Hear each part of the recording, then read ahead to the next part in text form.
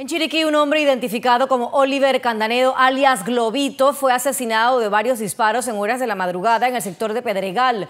Un vecino que pasaba por el lugar fue quien encontró el cadáver a orillas de una vía. Hasta la fecha se han registrado 13 homicidios en esa provincia y por este hecho no se ha dado ningún arresto hasta el momento.